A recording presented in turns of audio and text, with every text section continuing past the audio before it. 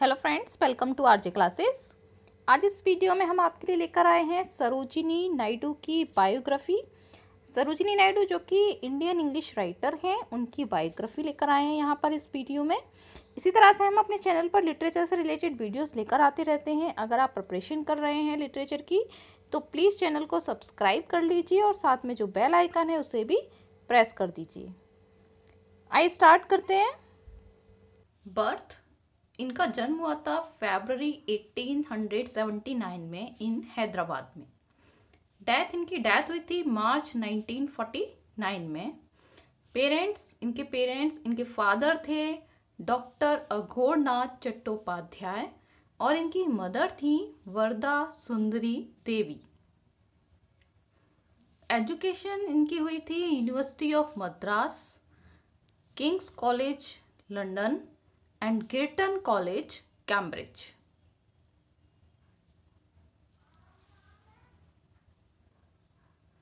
Spouse इनके husband थे Govind राजुला Naidu. Honours इन्हें सम्मान मिला था। केसर ए हिंद का मेडल इन्हें मिला था by British government British government के द्वारा इन्हें केसर ए हिंद का मेडल दिया गया था। ऑक्यूपेशन इनका था, ये पॉलिटिकल एक्टिविस्ट थी पोइट थी और राइटर थी। हर father was professor at the Nizam's college उनके फादर जो थे, वो निजाम्स कॉलेज में प्रोफेसर थे। Her father had leaning in alchemy उनके फादर एल्केमी में काम करते थे, यानी कि a process which turns base metals into gold alchemy एक प्रोसेस होती है जिसमें बेस मेटल्स को गोल्ड में चेंज किया जाता है। Her mother wrote beautiful lyrics उनकी मदर ब्यूटिफुल लिरिक्स लिखती थी। Sarojini was sent to Madras Sarojini को मद्रास भेजा गया where she passed matric in 1891 जहाँ पर उन्होंने 1891 में मैट्रिक पास किया। शी बिकेम इल इन 1892 1892 में उनकी तबीयत खराब हो गई एंड रिमेन इन हैदराबाद और फिर वो हैदराबाद में रहीं। She spend her time in reading different subjects वो अपना टाइम डिफरेंट सब्जेक्ट्स को रीड करने में बिताती थी। Her outlook became very serious in nature उनका जो आउटलुक था, उनका जो दृष्टिकोण था, वो नेचर के प्रति बहुत ही सीरियस हो गया था। In 1994 her little brother died 1994 में उनके छोटे भाई की डेथ हो गई। This incident gave her a shock इससे उन्हें एक गहरा सदमा पहुँचा। हर पेरेंट्स पर disturbed by this unexpected turn of events in events से उनके जो पेरेंट्स थे, वो बहुत ही डिस्टर्ब हो गए। ये जो इवेंट्स उनकी लाइफ में हो रहे थे, इससे उनके पेरेंट्स बहुत ही डिस्टर्ब हो गए। They felt she was too young for marriage उन्होंने ऐसा फील किया कि अभी वो मैरिज के लिए बहुत यंग हैं यानी कि अभी उनकी मैरिज की एज नहीं है। So they sent her away to Madras इसलिए उन्होंने uh, उन्हें सर, यानी कि सरोजनी को मद्रास भेज दिया। आफ्टर मैरिज मैरिज के बाद she was sent to England उन्हें इंग्लैंड भेज दिया गया। क्योंकि उनकी मैरिज हो गई गोविंद राजुला से और उसके बाद उन्हें इंग्लैंड भेज दिया गया। She thought that her father was against this marriage वो ऐसा सोचती थी कि उनके फादर इस मैरिज से मैरिज के खिलाफ हैं मैरिज के विरोध में हैं एज क्योंकि ही वॉज़ बंगाली उनके फादर बंगाली थे एंड नाइडू वॉज़ तमिल और जो नाइडू थे, उनके हस्बैंड थे, वो तमिल थे।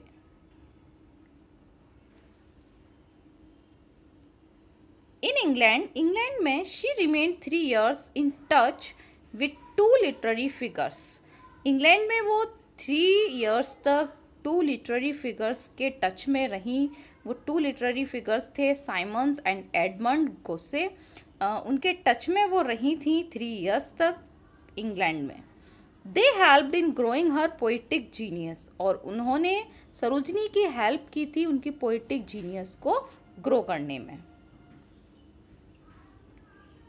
In 1898 she return to India 1898 में वो इंडिया लौट आई। Her parents were impressed and confined of her love उनके पेरेंट्स उनसे इम्प्रेस हुए और अपना आ, पूरा प्यार उन पर न्यौछावर कर दिया। She gave birth to five children उन्होंने फाइव चिल्ड्रन को जन्म दिया इंक्लूडिंग पदमजा जिसमें पदमजा भी शामिल हैं।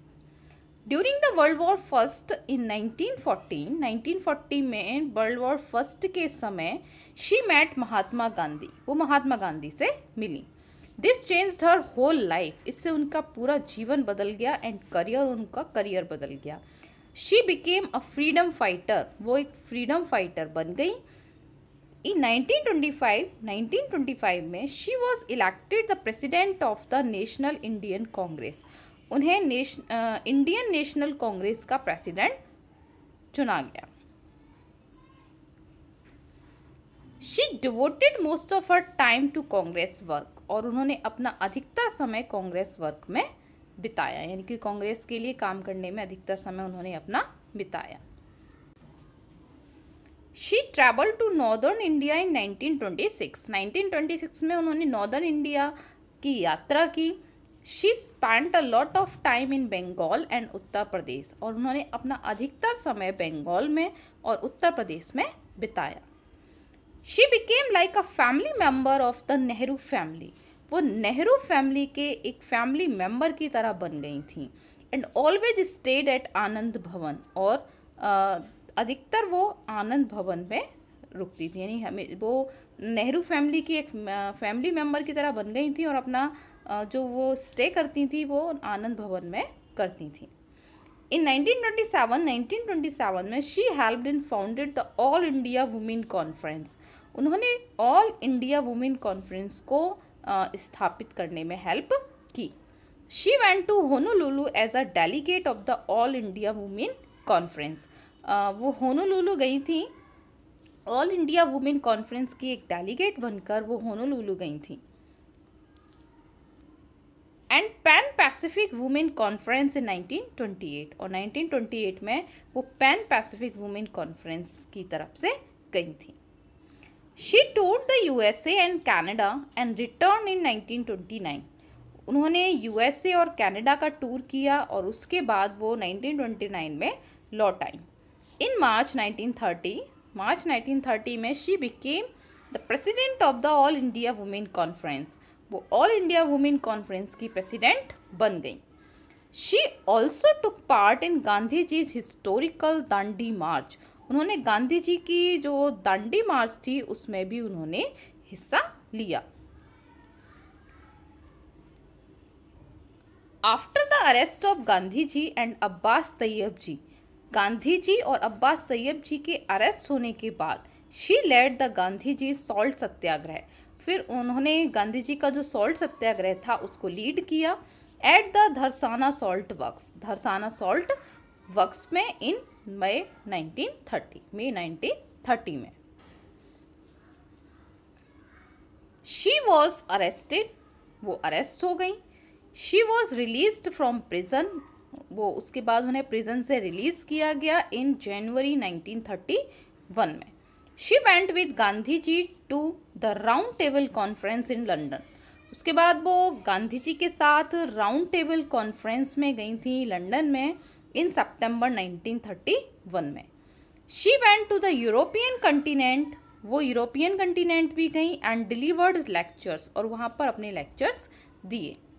इन 1932 1932 में शी रिटर्न टू इंडिया वो इंडिया लौट आई in the world war second world war second में इन 1939 में she was arrested along with Gandhi ji वो गांधी जी के साथ अरेस्ट हो गई एंड अदर नेशनल लीडर्स और जिसमें अदर नेशनल लीडर्स भी शामिल थे she was release in December 1940 और उसके बाद वो दिसंबर 1940 में रिलीज़ हुई प्रिजन से। Gandhi ji started Quit India movement Gandhi ji ने क्विट इंडिया मूवमेंट स्टार्ट किया, यानी कि भारत छोड़ो आंदोलन उन्होंने स्टार्ट किया ऑन एट्थ अगस्त 1942 में। She was arrested with Gandhi ji on ninth August तो वो गांधी जी के साथ नाइन्थ अगस्त को अरेस्ट हो गई। मलेरिया अटैक हर उसके बाद उन्हें मलेरिया हो गया। So she was release from prison इसलिए उन्हें प्रिजन से रिलीज़ कर दिया गया ऑन ट्वेंटी फ़र्स्ट मार्च 1943 में। She became the president of the Asian Relations Conference in New Delhi. वो एशियन रिलेशंस कॉन्फ्रेंस की प्रेसिडेंट बन गई न्यू दिल्ली में। एंड डिलीवर्ड ए स्पीच और उन्होंने एक स्पीच डिलीवर की ऑन ट्वेंटी थर्ड मार्च 1947 में। India became free on fifteenth August 1947 India fifteenth August 1947 को फ्री हुई, आज़ाद हुई अंग्रेज़ों से। She was declared as the governor of the United Province तो उसके बाद उनको यूनाइटेड प्रोविंस जिसे हम अभी उत्तर प्रदेश के नाम से जानते हैं, उसकी गवर्नर उन्हें डिक्लेयर किया गया becoming the first woman to hold the office of governor in the dominion of the India.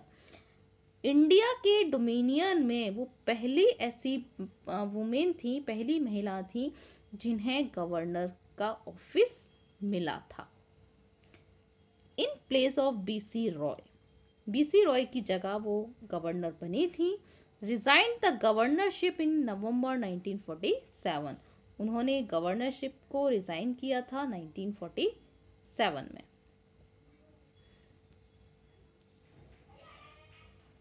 Naidu's work as a poet Naidu के जो वर्क थे पोइट के रूप में उन्होंने जो वर्क्स लिखे थे earned her the sobriquet nightingale of India इससे उन्हें एक उपाधि मिल गई क्या?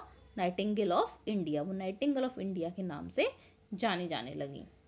She died of a cardiac arrest. उनकी डेथ कार्डिक अरेस्ट की वजह से हुई जो कार्डिक uh, अटैक जिसे हम कहते हैं on second March 1949 second March 1949 में उनकी डेथ हो गई कार्डिक अरेस्ट से। तो ये यहाँ पर बायोग्राफी थी सरोजिनी नायडू की। इसी तरीके से हम अपने चैनल पर लिटरेचर से रिलेटेड वीडियोस लेकर आते रहते हैं। अगर आप प्रिपरेशन कर रहे हैं लिटरेचर की तो प्लीज़ चैनल को सब्सक्राइब कर लीजिए और साथ में जो बेल आइकन है, उसे भी प्रेस कर दीजिए। Thank you.